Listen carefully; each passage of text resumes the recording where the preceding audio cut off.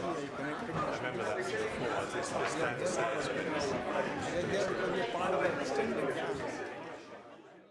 Thanks very much for having me and good morning to all of you. Uh, it's really tough to speak the last because actually most of my points have been made.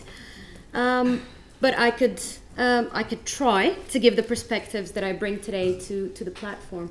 And hopefully that will generate really good discussion uh, and bring my perspective from the Middle East to this platform.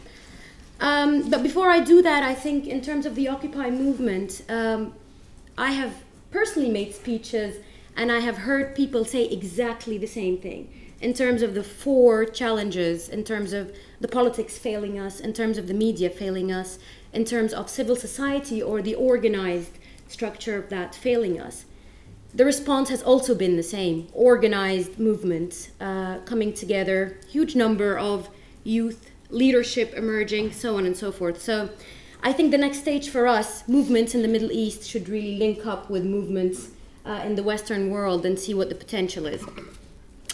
Right, okay, so basically, if I go over, please uh, let me know with cards and so on. But I am the last speaker, so perhaps I can go over a little bit. Um, so I'm here in two hats as well. I work for Oxfam GB. Um, and I'm also an Egyptian activist, and I've been personally involved in the 25th of January revolution as well as the recent uh, events in, in Cairo in November, and I've just come uh, from there. So I'm hoping to cover both aspects both Oxfam's response to the Arab Spring since the beginning of the year, as well as uh, my activist work in Egypt. So bear with me while I try to, to go over a lot of things. Um, needless to say that I'll do my best to cover the subject from both lenses. Uh, whatever tension that arises between both only indicates the already existing tension between civil society work and activism, I think that's presenting itself today in our world. But first, Oxfam. So Oxfam recognizes that the wave of change unfolding in the region is only beginning is the beginning of the process of democratic transformation. The story is not over yet. History books are still being written and there is a long road ahead. We need to be clear though when we talk about the Arab Spring uh, that there are countries in a post-revolution setting like Egypt and Tunisia, countries that are still in the middle of the transition like Yemen and Syria, some that have been affected by a ripple effect, like OPTI, and some that are experiencing a new fledgling promise of democracy, like Libya. Space for civil society engagement and involvement is a crucial cornerstone in any durable process for democratic transformation, as we all know. In Egypt and Yemen, and perhaps in OPTI as well, there is a real danger that civil society actors are being marginalized and sidelined from the reform agenda and from the debate in their countries.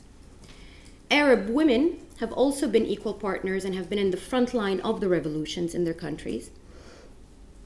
And they have been a strong force and agent of change in shaping the country's reform agenda in a post revolution setting.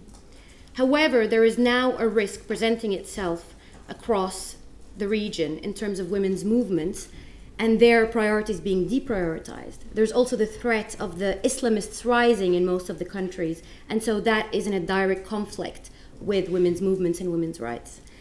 And I bring up women movements here because Oxfam, as well as my personal view, actually uh, view both the women movements as well as civil society movements as part of the larger uh, domain that we actually engage with and part of the larger context. So historically, in most of the countries across the region, space for civil society organizations to speak out in a wide range of issues, including lack of social, political, economic rights, has been strictly limited. You would think that after the revolution and the newfound voice of the uprisings, that they have actually um, taken most of the restrictions out, and, and, and it's a limitless kind of uh, atmosphere in both countries or in, across the region. However, that is not what we're experiencing, and that there is more limitations after the uprisings being imposed on civil society organizations. For example, over the summer in Egypt, serious government pressures on Egyptian NGOs, including anti foreign funding rhetoric, has been observed. In August 2011, 26 human rights organizations and NGOs, including much of Oxfam's partners, have published a statement against these restrictions and accusations of implementing foreign agendas. Similar pressures are also being felt by civil society in Israel and OPTI, where the Israeli Knesset has recently passed legislation that restricts the abilities of human rights organizations to protest human rights violations and to obtain funds from foreign governments. In Egypt, Oxfam and its partners have formed an Egyptian policy reference group which aims to coordinate national global advocacy actions. In addition, Oxfam is also forming a coalition of NGOs that are going to be the interface between the civil society organizations and the League of Arab States or the Egyptian government. So we're really making that link in terms of lobbying and advocacy and trying to bring on change in the policy level.